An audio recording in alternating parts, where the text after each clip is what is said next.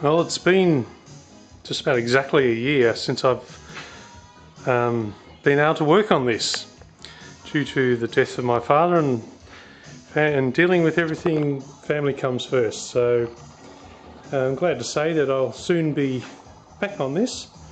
It was uh, a bit of pride there from my father. He used to come around at least once a week just to see what I've done on this. So it'll be good to get back on it. Anyway, what I thought I would show is that I've been modifying this guard. Um, the best way to show it is this is the original guard, or fender as you like to call it in America, or wing in the UK. So that is the stock orientation like that. And the grill attaches to these three bolts, holes.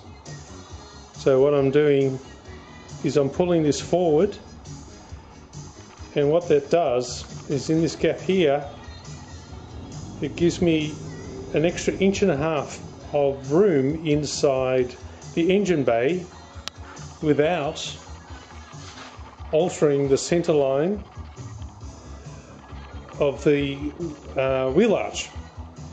Now on the 1948 cabs, which is what part of this is, um, the guard comes around here and then goes straight to the grill. In actuality, of course, it's actually back here, like that. So on the what they call the pointy nose, it comes up and then goes all the way back. So it comes forward as part of the pointy nose as well as the grill goes back and forward.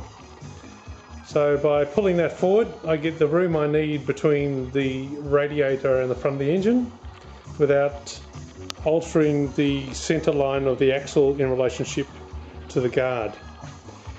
Um, you can probably see here I've removed the pressing from where the uh, clearance was for the shock on the inner guard and this one is still um, in the process from a year ago of being modified. So this is what was in here before. So what's under my hand is the clearance for the uh, shock absorber mount on the chassis and that big dip in there was for the oil bath cleaner. Um, so I've made up this guard here, this new inner fender.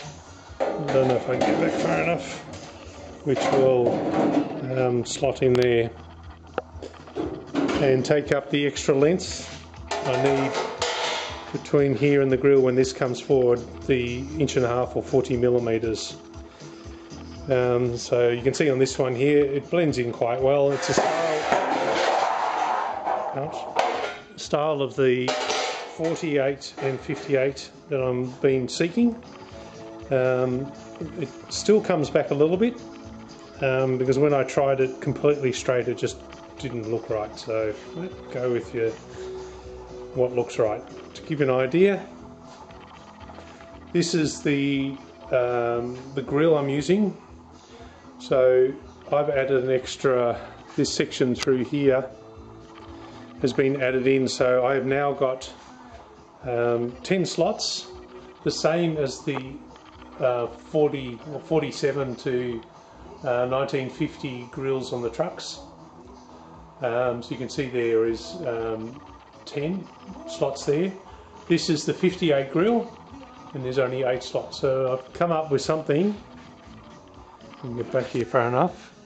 That's um, in between the two of them. So the 10 slots from the uh, earlier model and um, the grill spacing and the V from the later model.